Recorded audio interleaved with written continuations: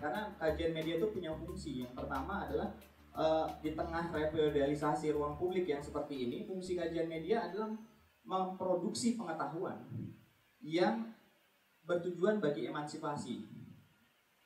Em, artinya menjadi emansipasi itu eh, ketika kita menulis eh, apa namanya soal tayangan televisi yang misalnya bias gender dan sebagainya ini kan sebagai medium eh, media literasi atau bahkan juga menjadi medium bagi advokasi. Nah di ranah ini sebetulnya kajian media berfungsi untuk mensupport gerakan sipil yang mencoba merembut kembali ruang publik yang tadi dikooptasi.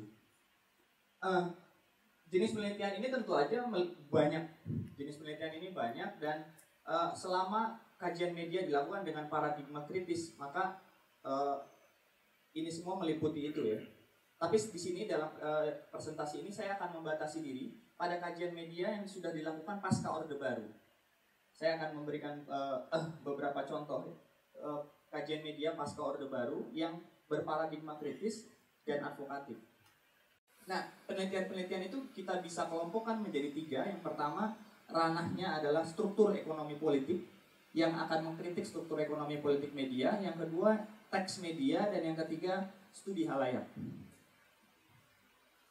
Ah, kalau eh, salah satu yang sangat berpengaruh di pasca orde baru, studi mengenai konglomerasi media. Jadi kalau kita tadi bicara soal refeudalisasi ruang publik dalam pengertian bahwa eh, kembalinya otoritas modal, maka studinya Merlina Lim mengenai uh, map, mapping mapping kepemilikan ya, konsentrasi kepemilikan, dia menemukan bahwa ternyata seluruh media yang ada di Indonesia itu hanya dikuasai oleh 12 kelompok usaha.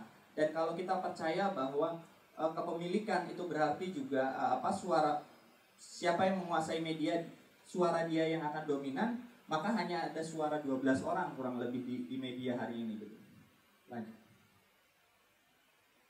Uh, yang lain kita me- melihat misalnya uh, kajian struktur ekonomi juga dilakukan oleh PR2 me- PR2 Media ya, di Jogja seperti yang uh, bukunya saya tampilkan di sana soal uh, regulator dominasi televisi swasta lalu juga uh, studinya Ade Armando mengenai televisi Jakarta di atas Indonesia sentralisasi es- uh, apa kot sentralisasi mengenai sentralisasi penyiaran lalu juga ada bukunya Agus Sudibyo mengenai uh, ekonomi politik media penyiaran yang semuanya ini berte- uh, tujuannya mengkritik struktur ekonomi politik yang uh, dipandang tadi tidak adil atau mendominasi ruang publik. Gitu. Nah, selain yang struktur baik eh, kaitannya dengan ekonomi politik, struktur juga ada yang berkaitan dengan budaya gitu ya. Jadi selain kepemilikan, eh, eh, ada juga persoalan dengan culture gitu. Yang itu antara lain persoalan profesionalisme wartawan. Jadi kalau kita sering kali melihat bahwa eh, wartawan itu sering kali tidak independen dan sebagainya. Ini satu berkaitan dengan apa? Berkaitan dengan struktur, artinya kepemilikan. Tapi yang lain juga berkaitan dengan eh, profesionalisme. Studinya Yayasan Pantau yang mengurai persepsi wartawan mengenai Islam, saya pikir menarik dan penting untuk di eh, menyumbang pada diskusi soal ini. Eh, misalnya mengatakan bahwa 63,1 persen wartawan di Indonesia itu setuju pelarangan Ahmadiyah. Nah artinya ada ada bias kultural di di, di, di, di wartawan dan ini pasti berefek pada so, eh, apa namanya peliputan. Hal yang lain misalnya studinya remote TV yang eh, juga termuat di, di di dalam buku ini yaitu soal bagaimana wartawan memahami profesionalisme. Eh, Indah Wulandari itu melakukan liputan panjang mengenai praktik liputan oleh wartawan selama pemilu 2014. Simpulannya sederhana, ternyata mereka memandang profesionalisme itu sebagai menaati atau setia pada tujuan perusahaan. Jadi bukan soal uh, kesetiaannya bukan pada profesi, tapi pada warta, uh, pada perusahaan. Jadi kalau di perintah ini ya kita harus profesional definisinya gitu.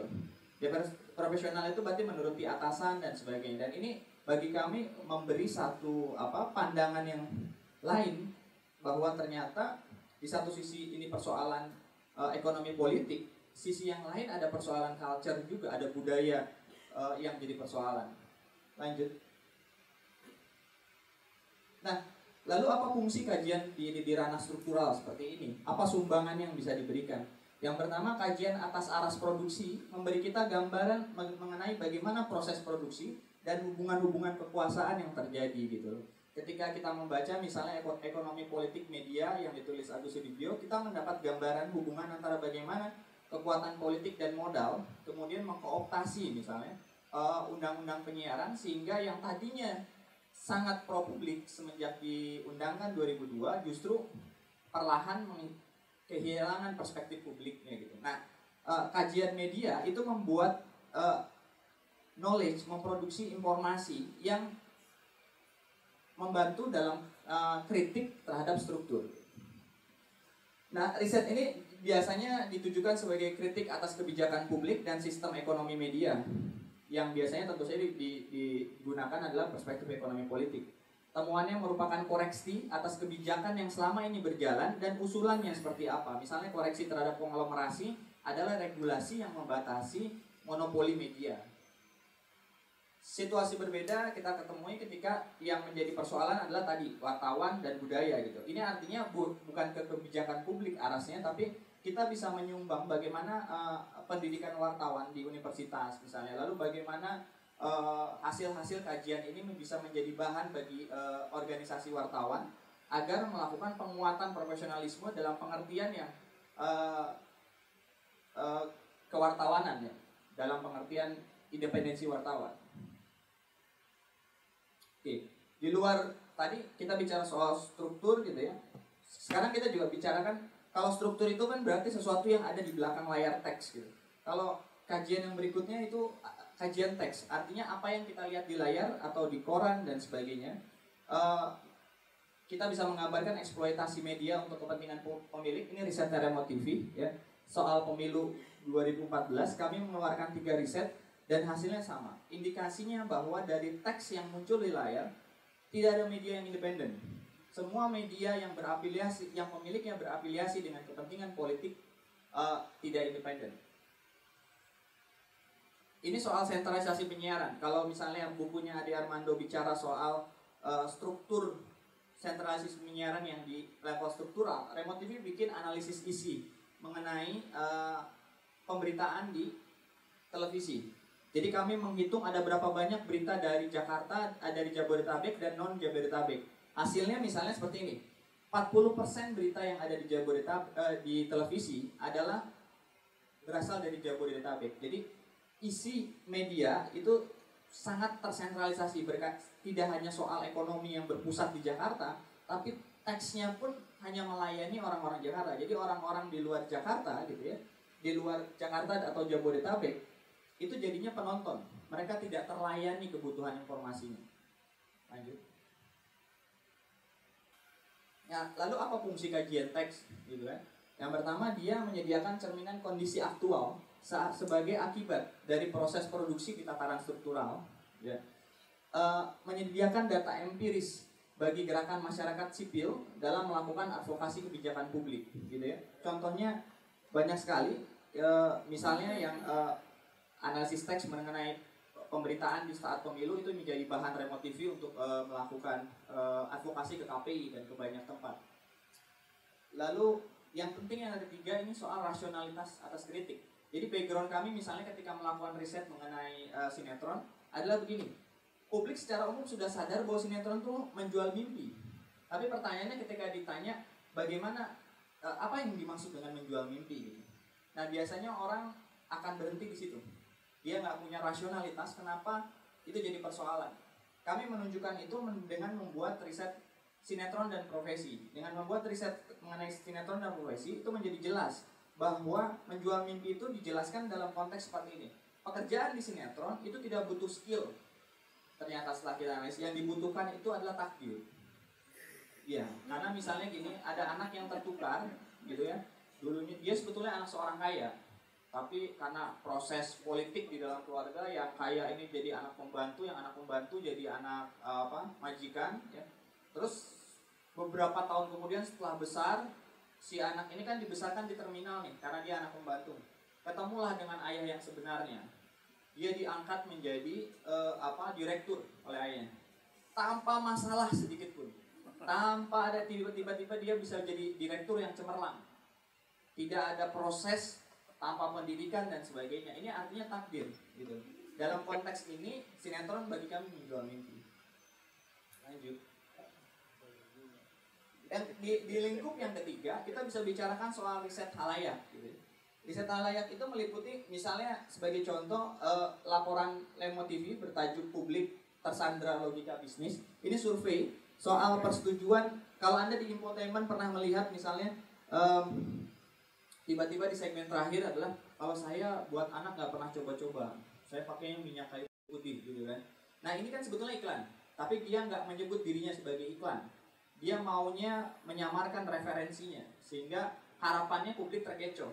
Nah setelah kita uh, survei ke, ke, publik kita tanya sebenarnya kamu sadar nggak sih itu iklan? Iya tahu gitu. Terus setuju nggak kalau di tengah tayangan ada iklan? Mereka bilang setuju lah. Kenapa setuju? Karena kan televisi itu harus bisnis mereka harus menghidupi dirinya. Ini artinya bahwa ada gejala publik kita terkooptasi oleh uh, logika bisnis. Kenapa? Setelah kita cek karena mereka sebagian besar nggak tahu kalau frekuensi itu milik publik. 58% mengatakan bahwa frekuensi itu milik perusahaan stasiun televisi. Hanya sekitar 19% yang mengatakan itu milik publik. Uh, ini menunjukkan jadi dia bisa memberi satu potret. Yang lain adalah uh, rumah sinema termasuk yang menurut saya uh, LSM di Jogja aktif membuat riset-riset halayak ya soal bagaimana uh, misalnya kajian penonton, konsumsi dan negosiasi, juga gerakan literasi media di Indonesia. Mereka uh, cukup uh, intens mencatat bagaimana respon publik atas tayangan atau media. Lanjut. Ya, pertanyaannya sekarang untuk apa kita melakukan riset halayak, gitu ya? Ya. Pertama mematakan kondisi objektif publik, memberi gambaran realitas sosial yang terjadi. Realitas itu bisa dampak media, bisa opini publik mengenai media, atau bahkan menyaksi, uh, menjelaskan terjadinya epistemic rupture itu semacam apa ya? Uh, nanti saya akan jelaskan di bagian yang lain. Uh, lalu memberi suara pada publik. Karena selama ini riset halayak yang paling konsisten dilakukan oleh Nielsen. Nielsen itu sangat uh, konsisten melakukan riset halayak yang kemudian menjadi rating. Dan artinya publik kita itu selalu ditempatkan sebagai konsumen, nggak pernah dilihat sebagai uh, uh, individu atau warga negara yang berdaya yang punya hak atas tayangan televisi. Riset Nielsen itu posisinya adalah melayani pengiklan.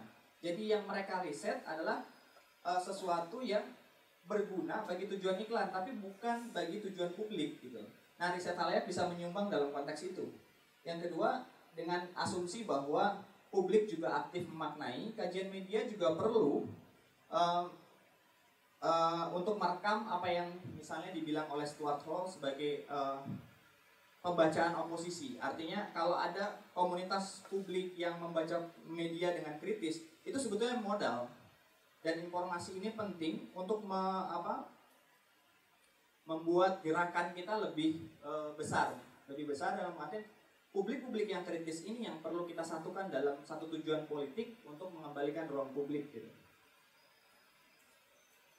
Oke, okay, um, tadi ada tiga ranah itu, maka sekarang pertanyaannya itu riset-riset yang dilakukan Remote TV, yang dilakukan berbagai LSM lain, uh, masih kita punya banyak kekurangan uh, yang ini otokritik uh, saya dan teman-teman di Remote TV apa sih yang selama ini jadi soal dalam konteks uh, riset atau kajian media yang pertama studi di aras produksi belum banyak berkembang kajian konglomerasi misalnya yang dilakukan oleh Merlin Lim lalu oleh riset-riset CEPG itu uh, fokusnya masih pada soal konsentrasi kepemilikan.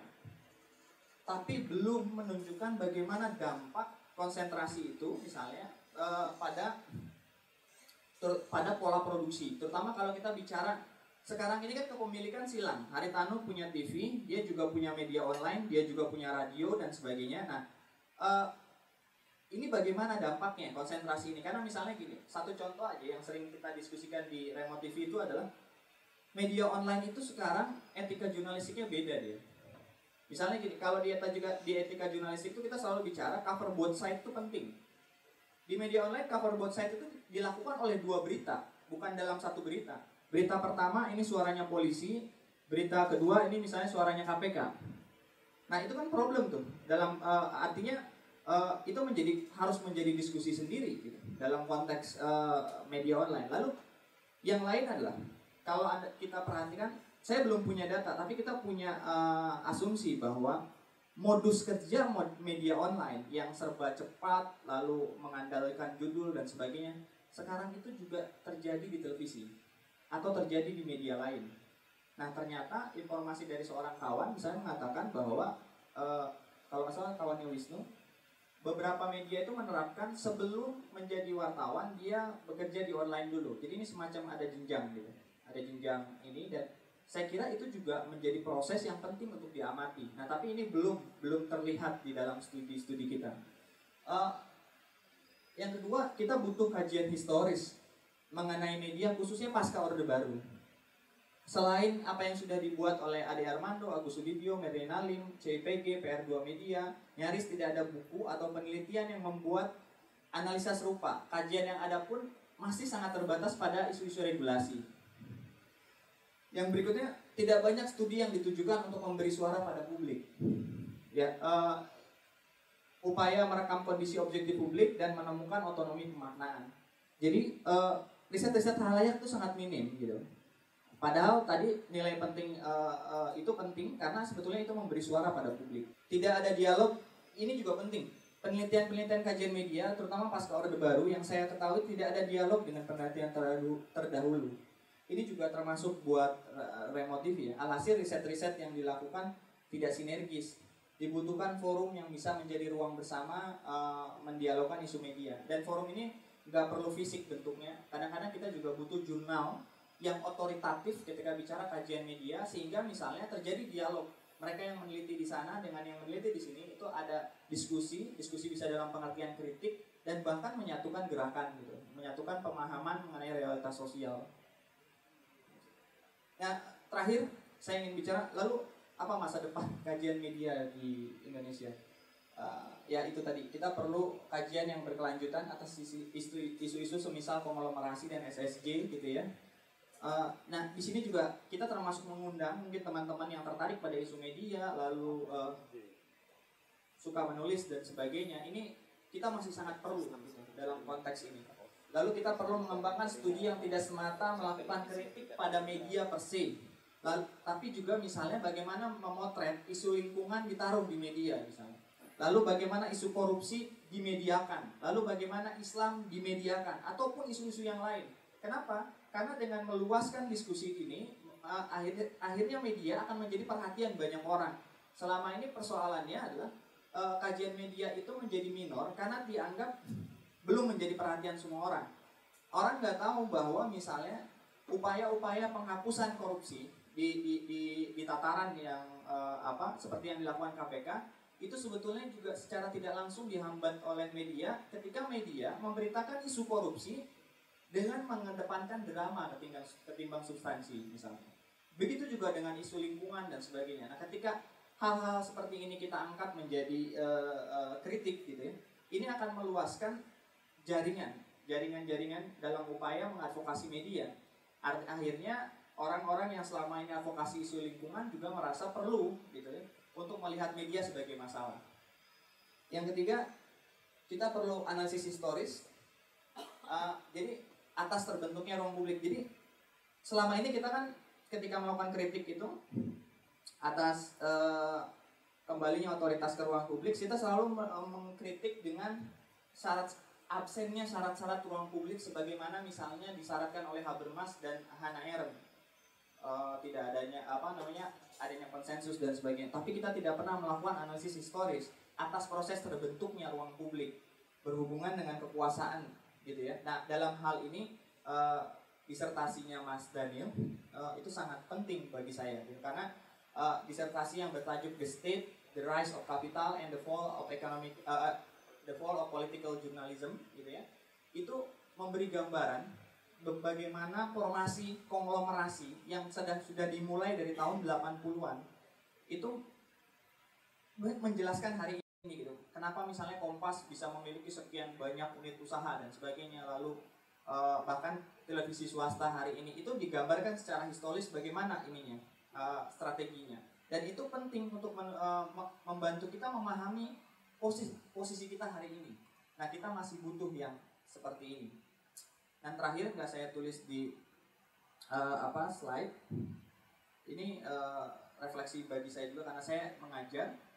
Kalau tadi paparan saya kan semua yang di, didiskusikan itu adalah riset-riset LSM, rumah sini mas JPG dan sebagainya. Ini sebenarnya pertanyaan saya buat diri saya dan buat uh, floor sekalian. Universitas ke mana? Terima kasih. Akib, terima kasih kepada Hekal tadi yang memetakan uh, apa namanya riset-riset media pasca Orde Baru ada tiga hal yang dicatat uh, seperti dikatakan Hekal riset pas uh, riset media pasca Orde Baru didominasi riset-riset tentang struktur, kemudian tentang analisis teks, kemudian riset halayak begitu. Kemudian Hekal juga uh, mencoba apa ya meramal tadi masa depan kajian media di Indonesia. Nah, pembicara selanjutnya saya kira akan kita akan masuk dari apa namanya pertanyaannya Hekal yang terakhir tadi eh, kampus itu ke mana? Gitu. Dalam konteks kajian media. Nah pembicara kedua adalah uh, dosen juga beliau. Jadi saya kira seperti dipaparkan di presentasi dan di paper yang uh, teman-teman baca akan banyak me menceritakan tentang bagaimana sebenarnya kondisi kajian media di Indonesia selama Orde Baru dan sesudah Orde Baru dan khususnya konteksnya dalam perkembangan kajian ilmu komunikasi yang diajarkan di kampus-kampus. Saya persilahkan kepada Mas Hari. Saya ingin mulai dengan uh, membicarakan soal tentang bicara sejarah. Ini siang-siang hari Sabtu ngomongin sejarah lagi. Oke, okay. tetapi saya ingin mulai mengatakan bahwa ini adalah kampus-kampus yang menjadi pemula e, munculnya studi komunikasi atau dulu awalnya semuanya ini disebut sebagai publisistik. Dan ini juga ada sebuah ceritanya sendiri kenapa dari publisistik lalu kemudian menjadi komunikasi. Publisistik itu datang dari bahasa Belanda, e, lebih memang berbicara tentang kata kalau dalam bahasa Inggris dikenal sebagai journalism begitu.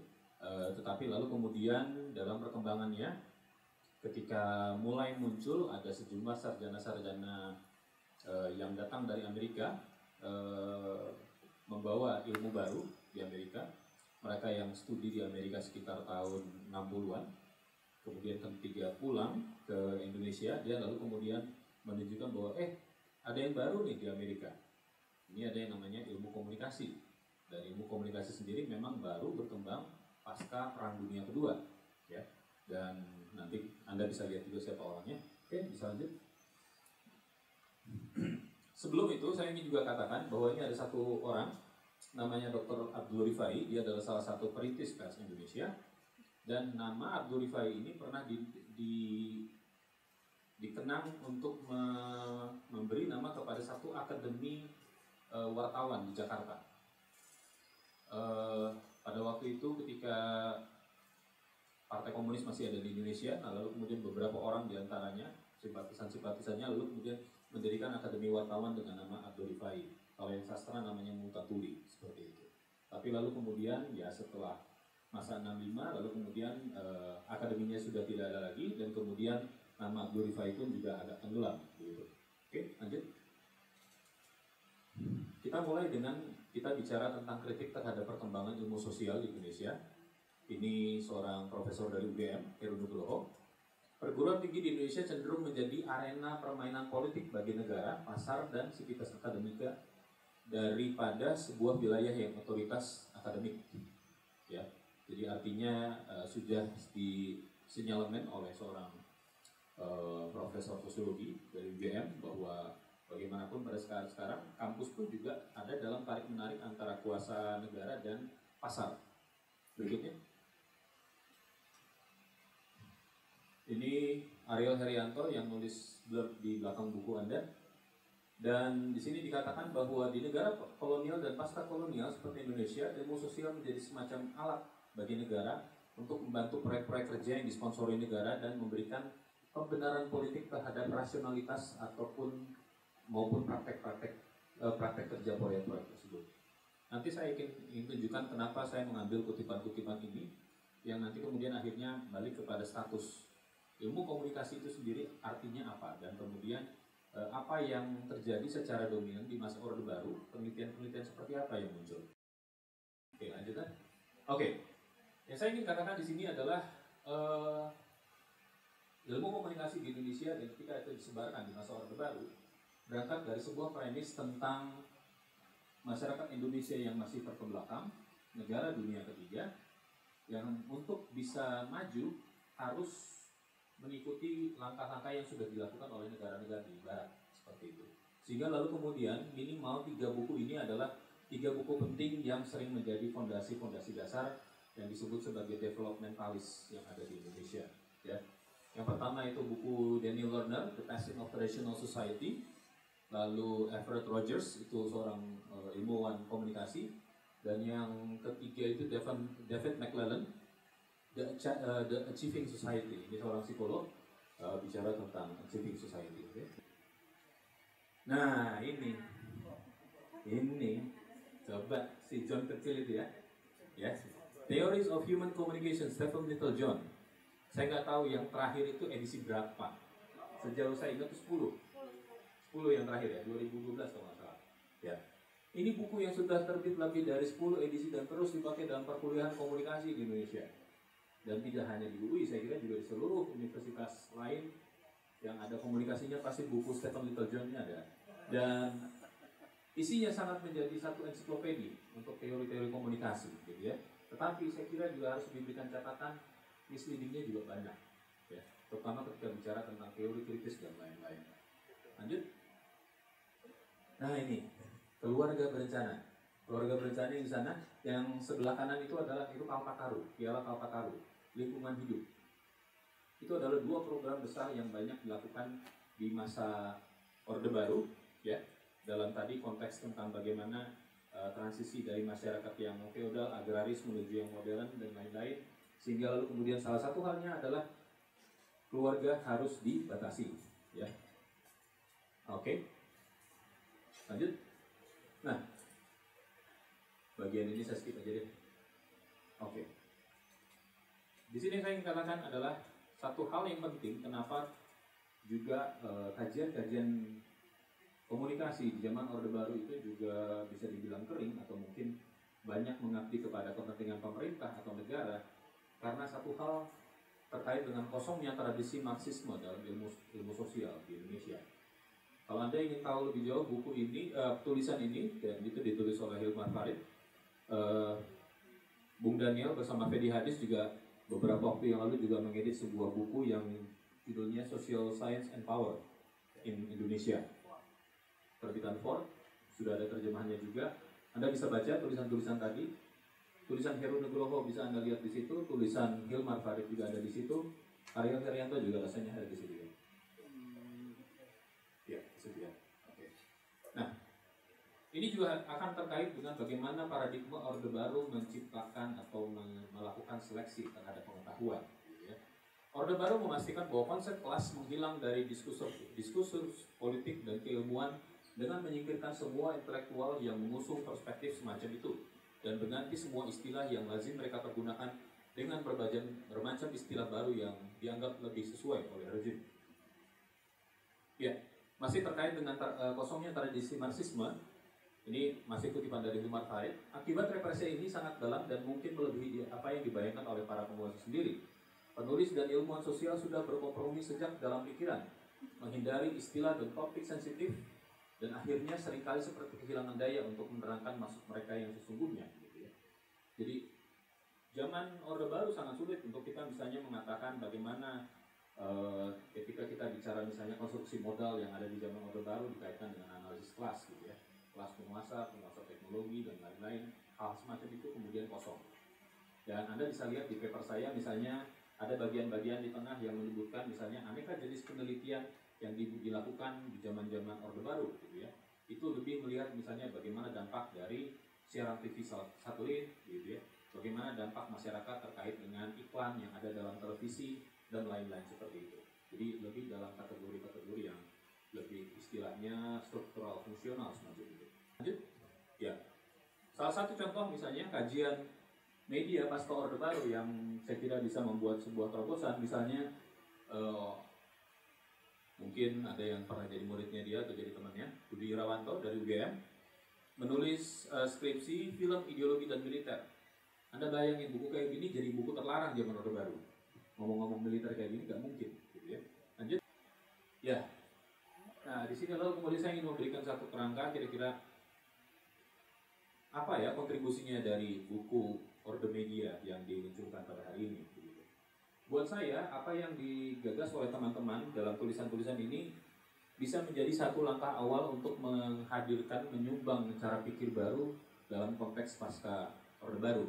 Dan saya kira ada banyak uh, tulisan-tulisan yang menarik dan uh, mungkin kalau istilah saya ini tulisan-tulisan yang menyerbu dari pinggiran ke pusat pemikiran maksud saya kalau tadi Haikal bertanya apa yang dilakukan oleh kampus gitu ya? Ya maaf ya kalau orang kampus saya juga orang kampus sih. Nggak usah cuma lebih jauh lagi. Uh, kajian-kajian yang dilakukan uh, oleh teman-teman di Remote TV ataupun juga kontributor di dalam buku ini bisa menginspirasikan kajian-kajian yang lebih dalam dilakukan di kampus-kampus. Dan saya kira juga semestanya di sini juga sangat banyak ditulis oleh kontributor yang beragam latar belakang seperti itu sehingga lalu kemudian saya kira uh, ini akan juga berkontribusi untuk memberikan warna pada wacana-wacana yang ada. Dan saya kira juga sesuatu yang menarik karena Remote TV yang statusnya adalah sebuah LSM begitu, memproduksi pengetahuan, memproduksi gagasan yang kemudian pada akhirnya kita berharap bahwa kajian semacam ini juga akan diterima di kampus, dikembangkan lebih jauh, sehingga lalu kemudian saya kira ada dialog keilmuan yang terjadi gitu ya. Mungkin saja buku ini bisa dikritik karena tentu saja semuanya bisa dibilang ini kan tulisan yang pendek-pendek, mungkin tidak dalam atau apa, mungkin secara metodologis juga bisa dikritik. Nah, saya kira di sinilah kita e, bisa memunculkan adanya dialog keilmuan. Demikian yang bisa dapat saya sampaikan pada siang hari. Terima kasih.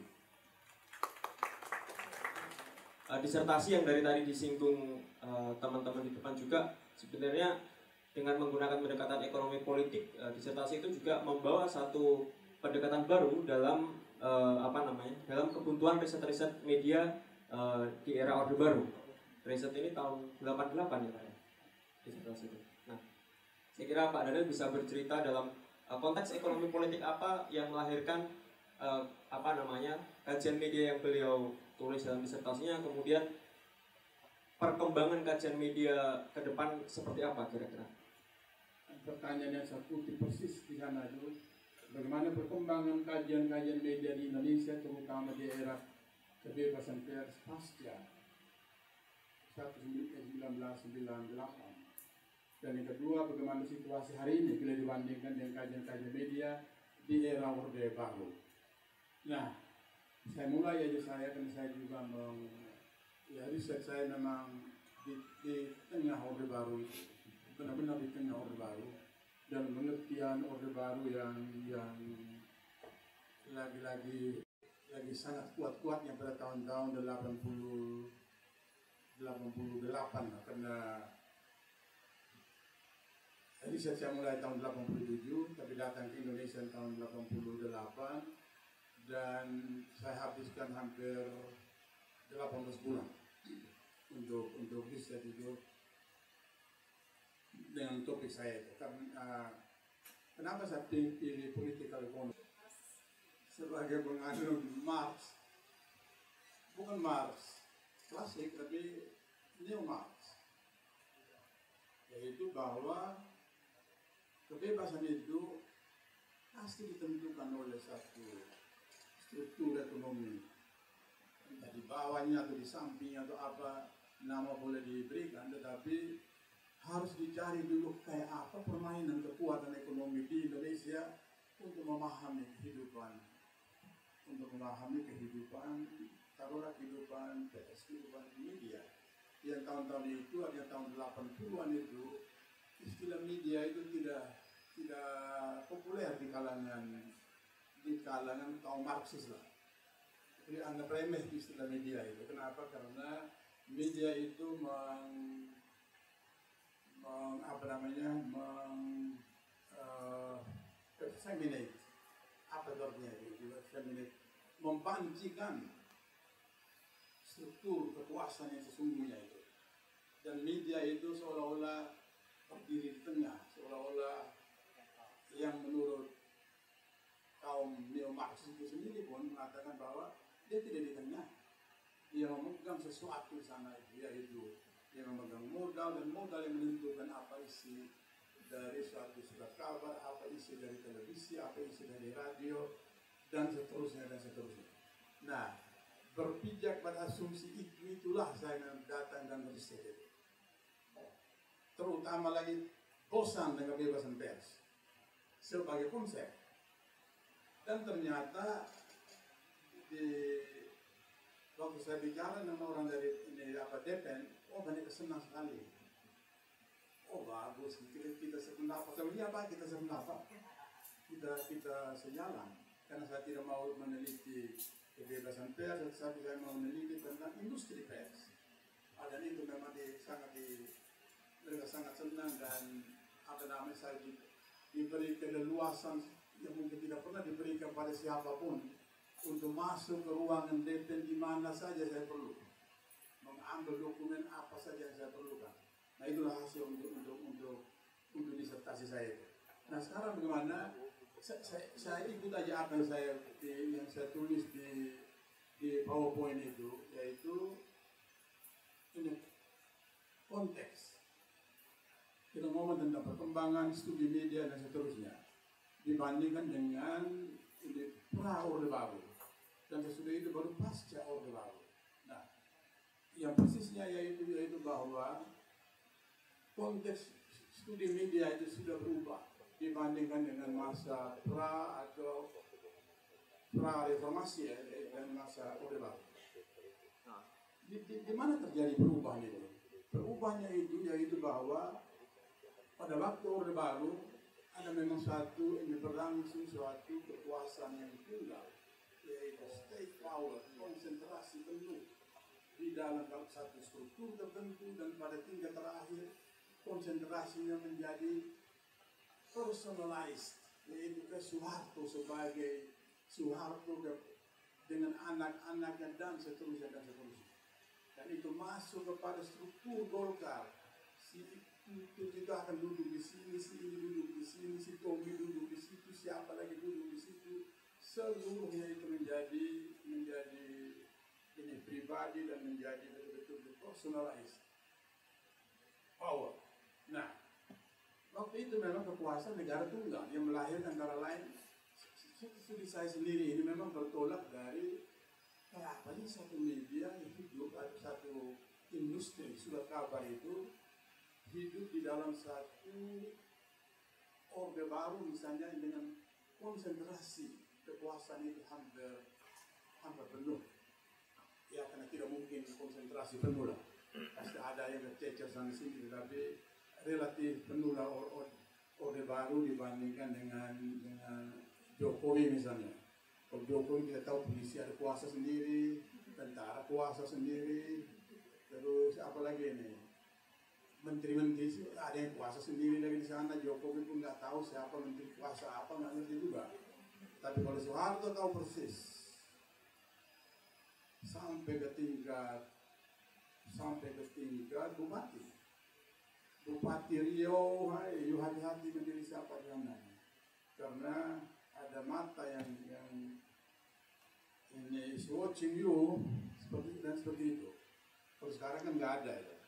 Nah dalam konteks seperti itulah saya saya menulis disertasi saya yang ini seperti ini nih. The State, the Rise of Capital and the Fall of Political Journalism.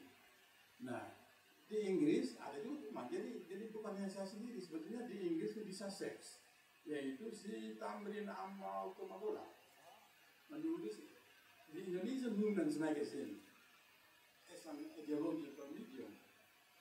Nah, jadi ada walaupun saya tahu kemudian saya, waktu saya meneliti saya nggak tahu bahwa Tamrin lagi meneliti sesuatu tentang tentang media di Indonesia ini dengan seperti ini dan dan ya sudah jadi ya kebetulan ya klub juga dia meneliti tentang women's magazine saya meneliti tentang industri industri surat kabar secara keseluruhan. Nah, coba berikutnya nah apa yang apa yang mendorong juga itu yaitu sampai saya studi itu tidak ada satu studi makro dari segi politik ekonomi ya ada benar-benar bukan saya mau bilang saya yang pertama bukan. Ya benar nggak ada aja. Dan karena itu tidak ada tidak ada literatur pembanding di saya.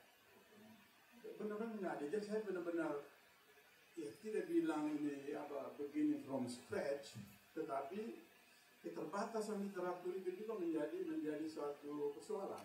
Menjadi tugas para peneliti itu yaitu kayak apa melihat itu state media.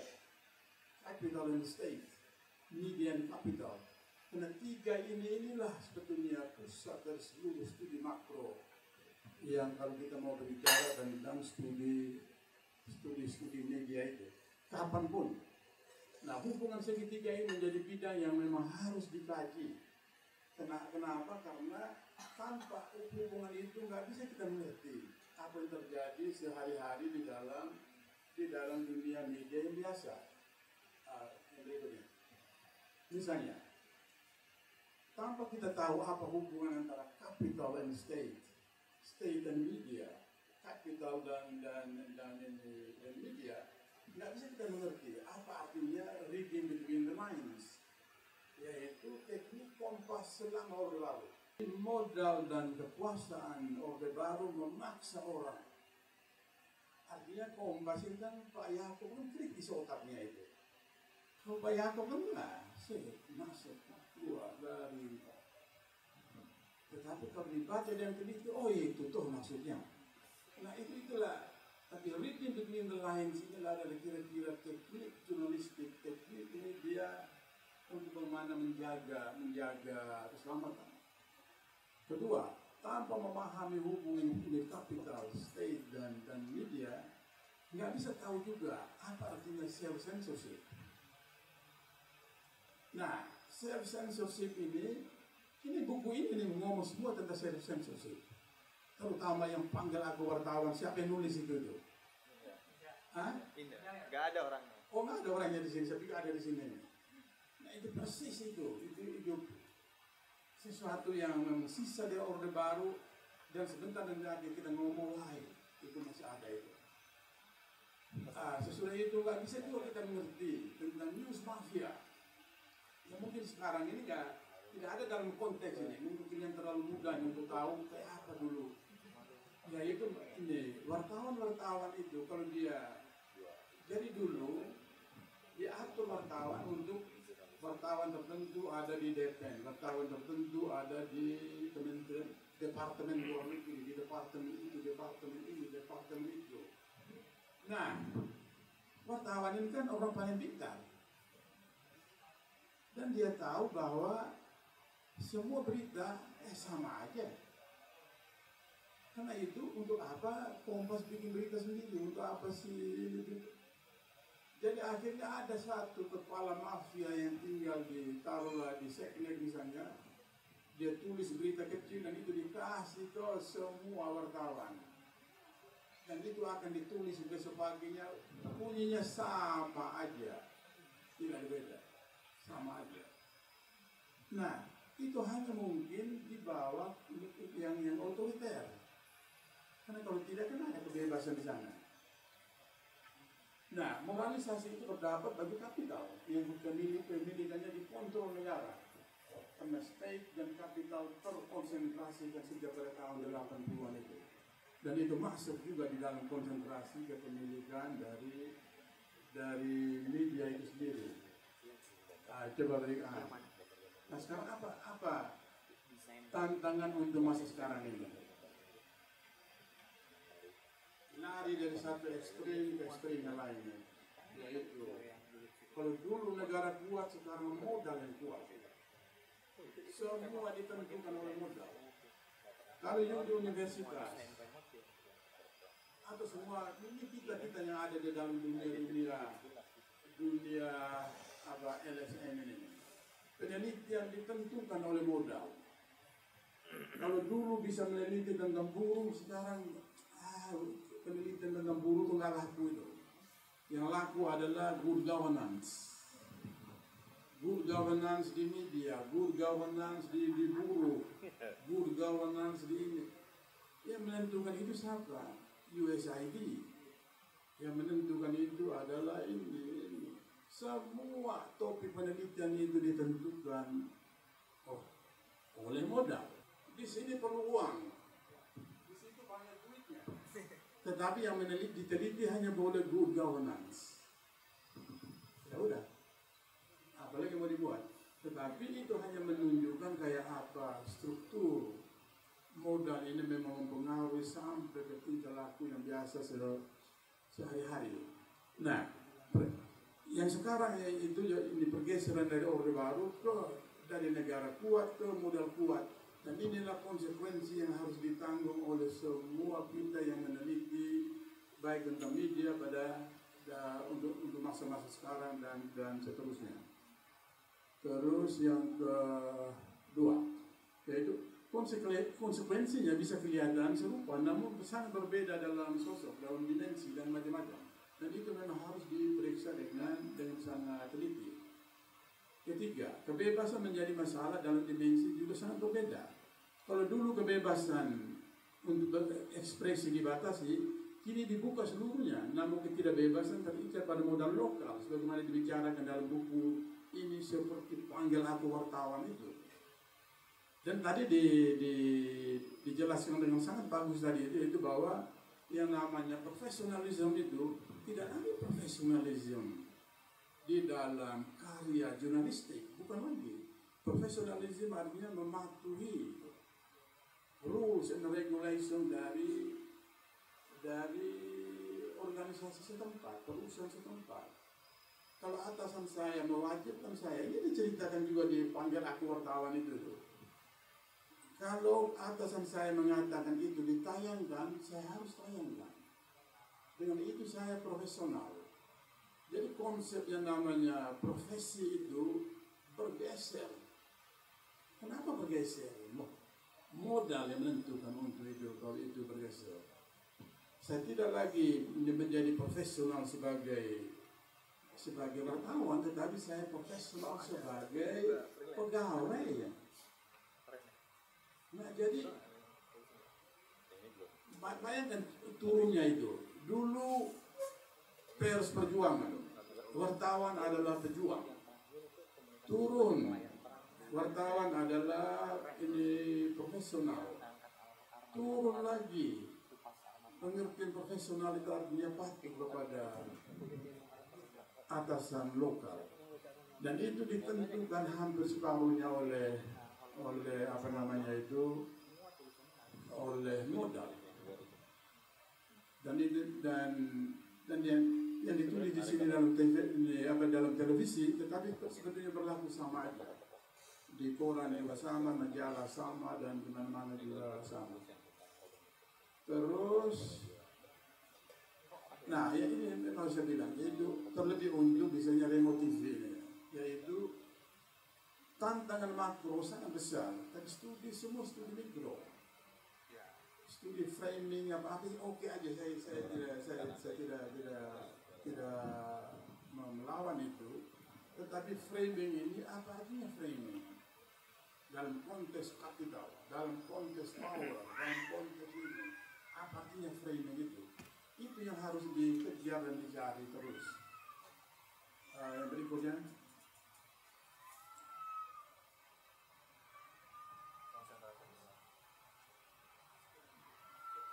Nah, ini dari tadi kan ngomong tentang konsentrasi modal, konsentrasi apa dan seterusnya. konsentrasi pada waktu Orde Baru ya sedikit berbeda. Bukan berbeda dalam dalam essence, tetapi berbeda di dalam ekspresi, di dalam ini, kayak apa dia dia diekspresikan itu pasti berbeda. Nah, konsentrasi dulu terutama karena tentu saja state power dengan sendirinya kepada ini hasil yang dari ada berikutnya yaitu favoritism ada yang kalau sedikit aja false ah ini pasti anti. Ah, satu anti orde baru kedua pasti ada darah-darah PKI di dalamnya. Ketiga pasti terlibat dalam salah satu cara lah dalam urusan PKI kalau neneknya tidak PKI pasti mama dari neneknya PKI ya, jadi bukan kan ini. Yang namanya bersih lingkungan dan segala-galanya itu kan itu menghancurkan. Banyak wartawan banyak surat kabar yang juga memang wartawan yang hebat harus diparkir hanya karena hanya karena tidak bersih lingkungan, tidak bersih ini, tidak bersih itu dan dan macam-macam. Nah, dengan begitu mulai terkonsentrasi kepada koran yang hidup, kepada koran yang bisa bisa bermain di tengah suasana seperti itu. Dan dan dan konsentrasi memang berlangsung sejak tahun-tahun itu. Nah, yang menurut saya kalau sekarang terjadi konsentrasi modal, konsentrasi kekuasaan, konsentrasi ini kapital di dalam media, mungkin sekarang ini jauh jauh jauh lebih genuine. Dalam arti inilah pencerminan dari dinamika modal yang sesungguh-sungguhnya. Ini kan ya karena patuh pada orang baru, karena bisa bermain begini. Kalau tidak, yaitu modal memang menunjukkan kekuasaan secara jauh jauh lebih genuine dan juga jauh lebih punya kesadaran diri yang sangat-sangat kuat yaitu gaji tidak perlu naik kenapa karena menurut perhitungan begini begini begini begini ini ini ini, ini lebih baik direinvestasikan karena dengan reinvestasi akan melahirkan lagi satu kumpulan modal di tempat lain lagi Kenapa? Karena kalau gaji naik akan menjadi apa namanya itu modal tidak bisa berkembang. Karena itu lebih baik berhenti di satu, satu level tertentu untuk menghidupkan reinvestasi di di tempat lain misalnya. Nah, saya pikir memang kalau terjadi konsentrasi modal sekarang, dia jauh-jauh lebih genuine. Genuine dalam arti mencerminkan dinamika modal yang yang sesungguhnya. Sekarang baru yang sedikit optimis. Dari tadi kan kelam seluruhnya. Nah, sekarang ini baru baru yang sedikit optimis. Dan yang optimis itu adalah dari kaum itu sendiri. Dari atau lah sendiri optimisnya daripada 200 tahun yang lalu. Atau para neo Marxis kayak Fedi Hadis misalnya neo Marxis kayak siapa lagi ini? Kayak begitu begitu apa yang optimis itu? Yaitu bahwa ya jangan takutlah perkembangan kapitalisme yang kita rasa seperti mau merampok seluruh kehidupan kita. Itu kenapa? Karena kapitalisme itu sendiri melahirkan kontradiksi itu dari dalam. Dalam apa pun bentuknya dia akan melahirkan itu. Dalam salah satu bentuk yang yang ini apa namanya itu yang intrinsik sekarang ini yaitu teknologi yang menghasilkan televisi yang hebat itu melahirkan juga streaming TV yang bisa berjumlah ratusan atau sekurang-kurangnya saya bi untuk untuk menghidupkan telinga saya mendengar bahasa Jerman misalnya dengan mudah saya ambil radio Bayern dari induknya Jerman di, di sana tempat ini Bayern Munchen sepak bola itu. Nah, nah artinya, artinya kapitalisme itu sendiri kan memungkinkan suatu gerak dari dalam untuk melawan kapital itu sendiri yaitu televisi yang taruhlah berapa berapa berapa berapa stasiun sekarang kita ini taruhlah 11 yang yang besar-besar lah daerah ini setiga tingkat kita juga kalau daerah ini. ini yang sebelah ini yang maha mega mega televisi. Nah di, di, dan di sana pun keluar itu bahwa di Jakarta bisa ada puluhan streaming TV misalnya.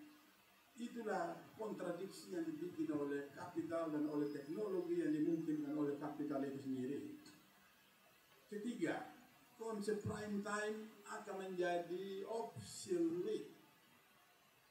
Kuno bahwa jam 7 prime time akan kuno jam 8 prime time akan kuno.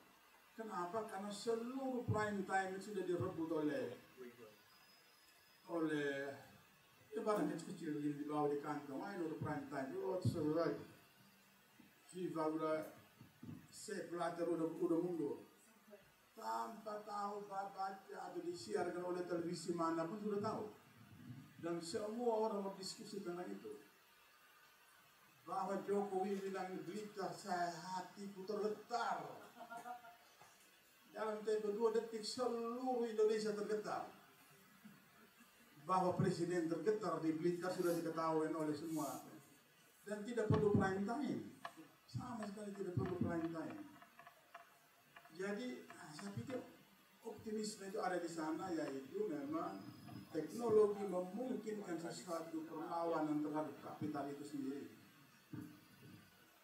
Nah, itulah cellphone. Yang berikutnya,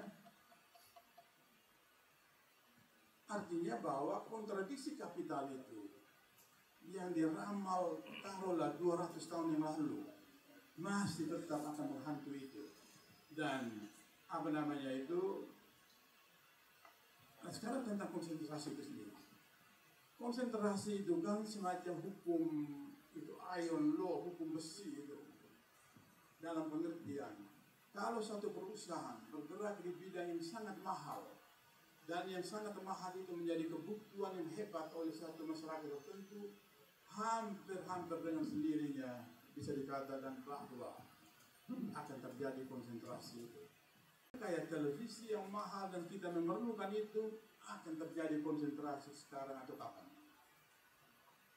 Uh, berikutnya, walaupun tadi saya bilang ini, ini ada apa namanya ini optimisme tadi itu bahwa kapital melahirkan kontradiksinya sendiri, tetapi hitung punya hitung.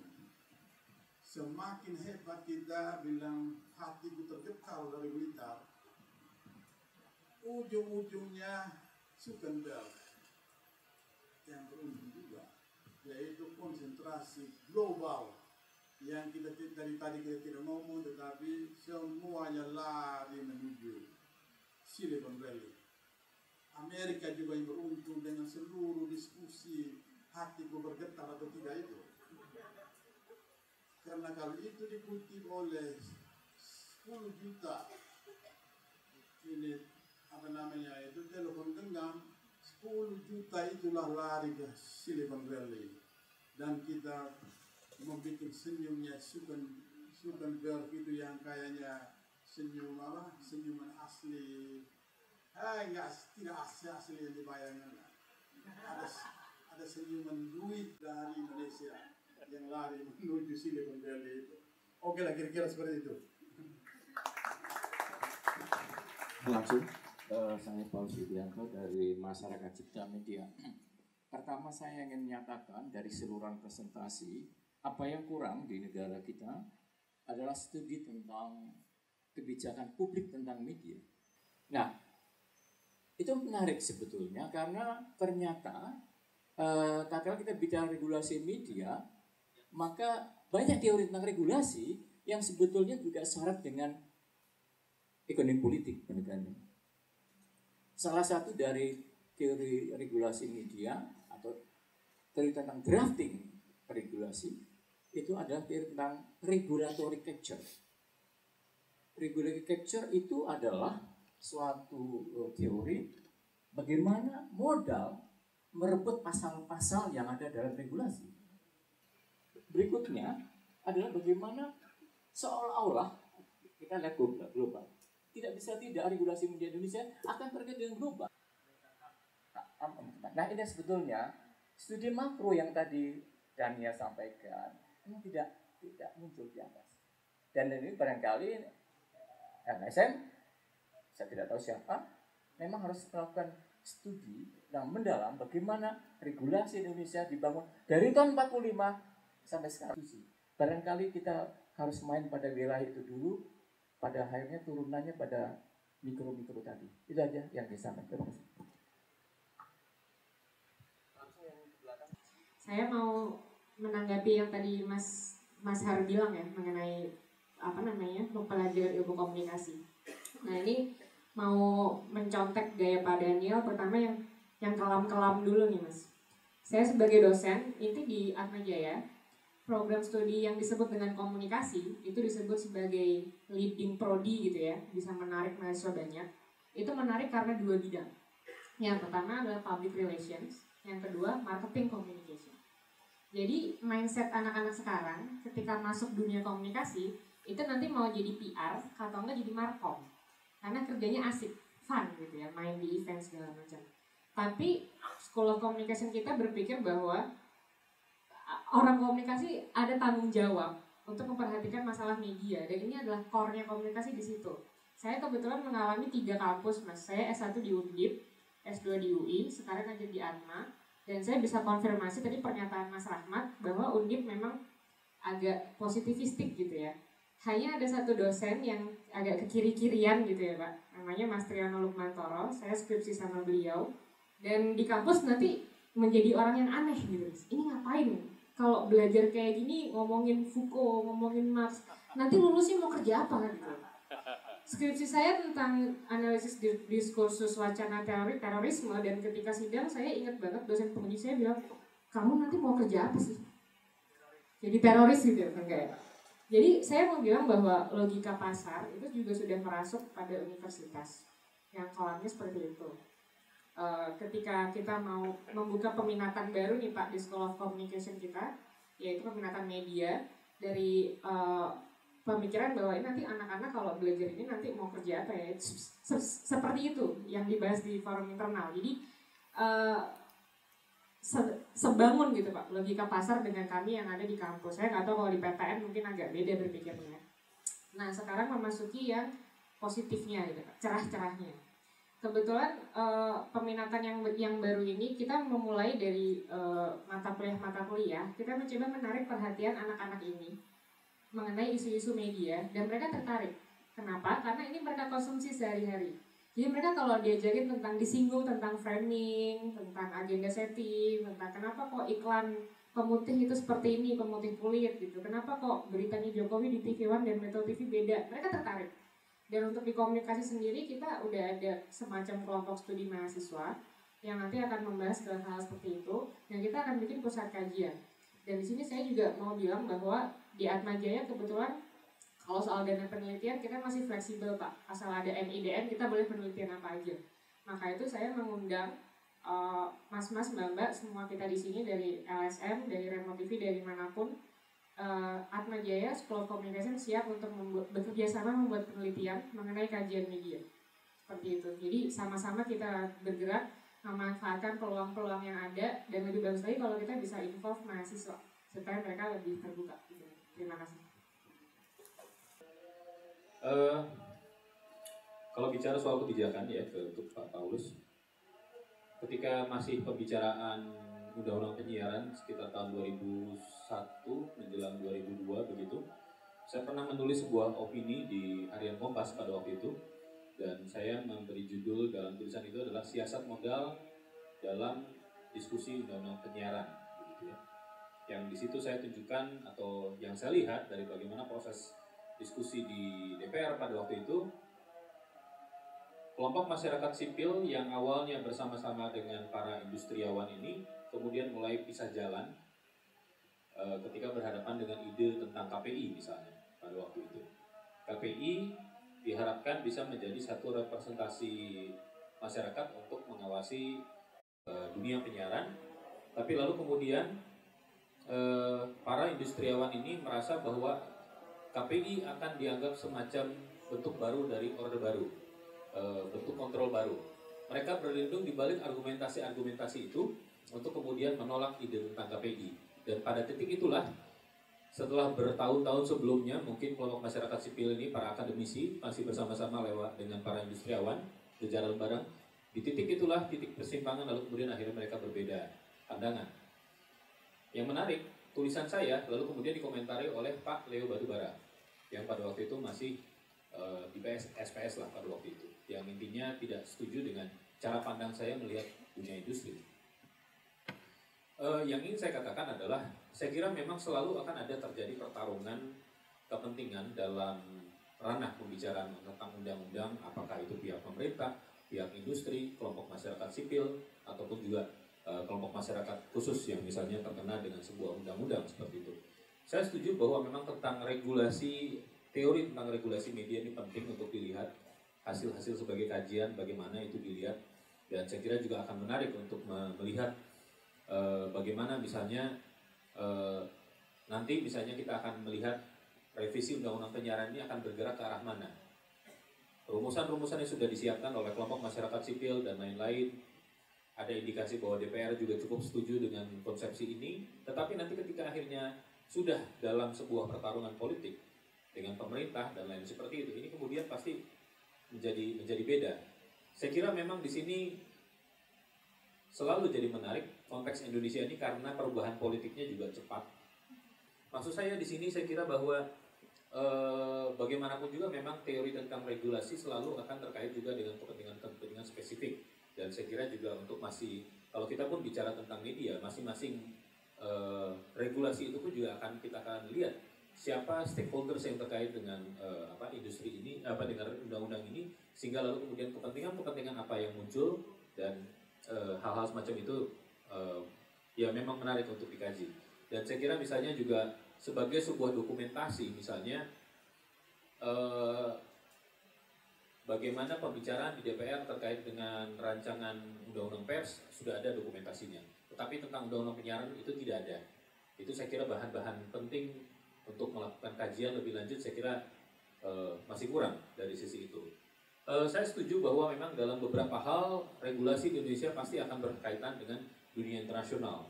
Dalam beberapa hal ada satu standar tertentu yang memang uh, akan dipakai secara global. Sama sama seperti misalnya pada saat sekarang suka tidak suka uh, siap tidak siap kita akan berhadapan dengan masalah digitalisasi televisi. Dan itu saya kira juga kita akan mengacu atau mencoba melihat bagaimana beberapa negara lain mencoba melakukan uh, transisi dari sisi dari TV analog menuju TV digital. Dan kita mencoba melihat best practice negara mana yang kira-kira lebih cocok untuk Indonesia?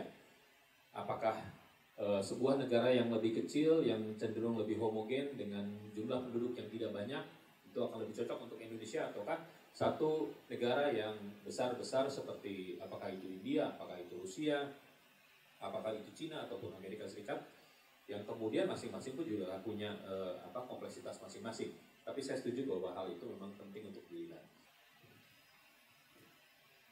Oke, terima kasih Mas Her. Saya kira Pak Daniel bisa merespon beberapa pertanyaan.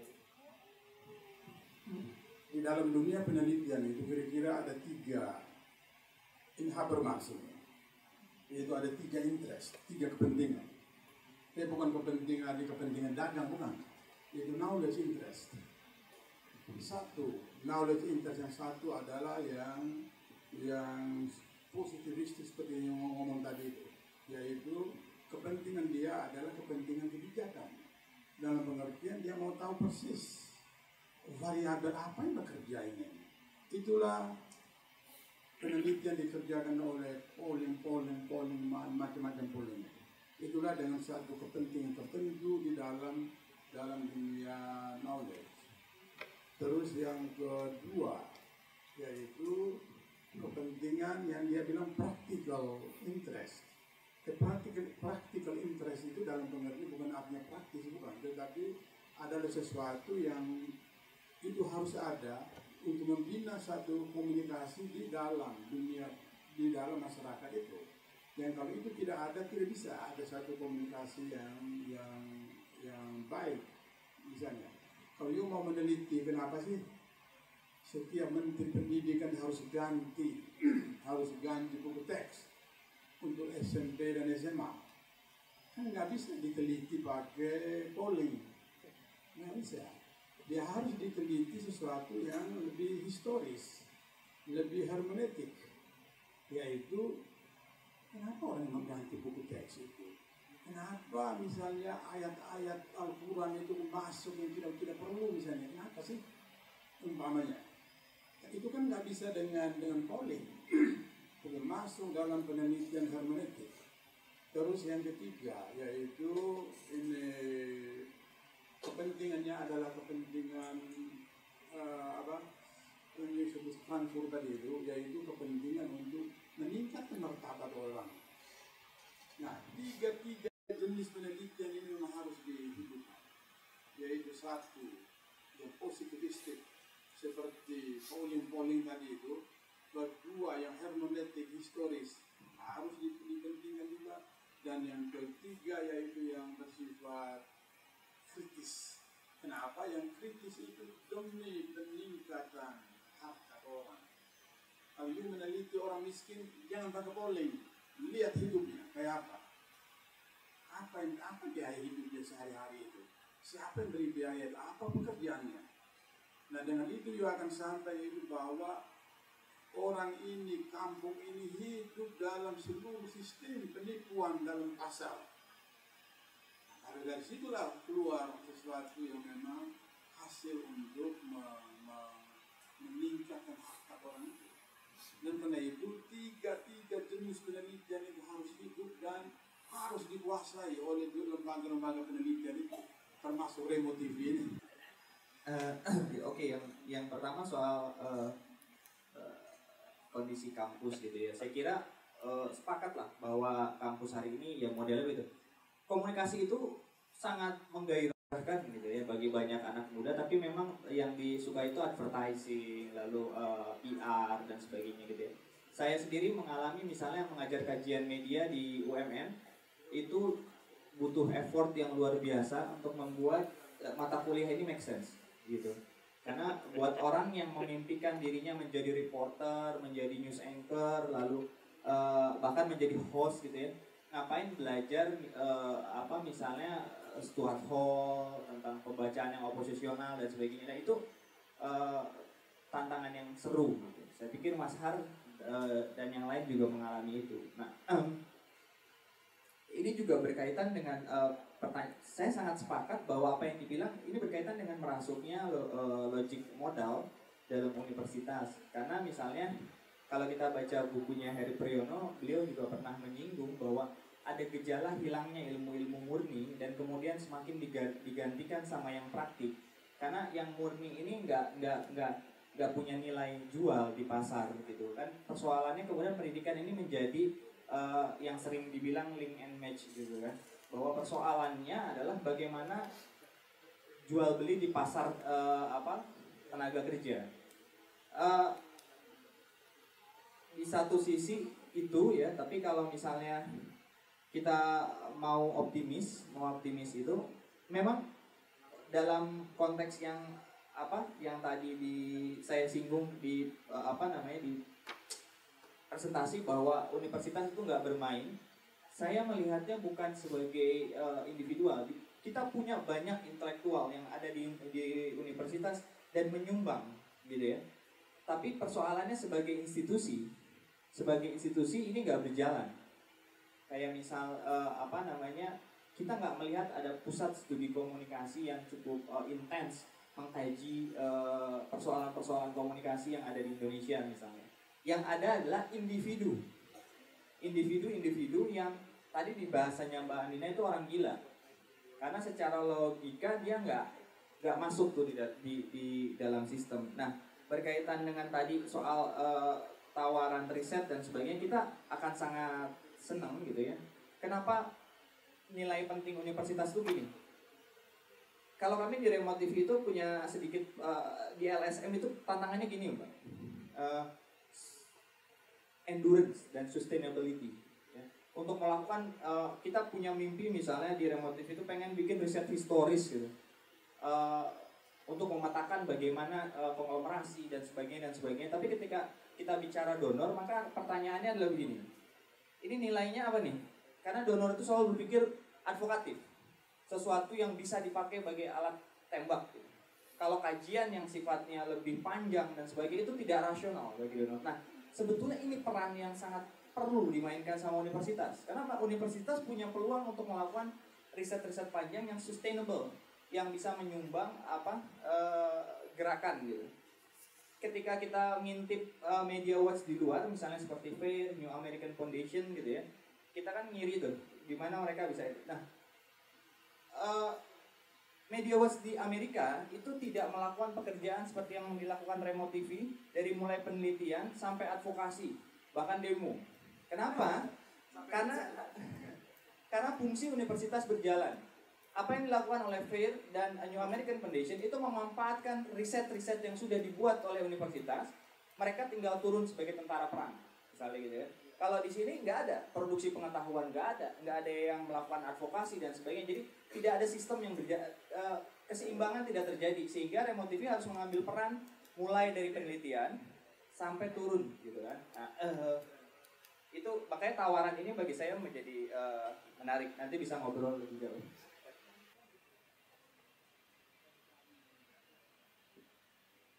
Saya kira diskusi hari ini sudah cukup meskipun ya saya kira tidak melebar tapi diskusi yang kita awalnya membuka dengan kajian media mengerucut ke kampus gitu ya kajian di kampus. Nah eh, apa namanya diskusi kali ini seperti yang saya sampaikan di awal tadi dia tidak secara spesifik membahas isi buku tetapi dia menjadi konteks membicarakan konteks eh, dalam situasi seperti apa tulisan-tulisan dan eh, riset-riset artikel dalam buku ini muncul. Nah kira-kira Uh, seperti itu lebih jauhnya teman-teman bisa baca sendiri. Uh, diskusi ini saya akhiri terima kasih. Jangan lupa beli. oh, jangan lupa beli. Uh, saya ucapkan terima kasih kepada tiga pembicara kepada Pak Daniel, Mas Har, dan kepada Haikal. Uh, selamat sore dan terima kasih atas kehadiran teman-teman semua. Saya kembalikan ke pembawa acara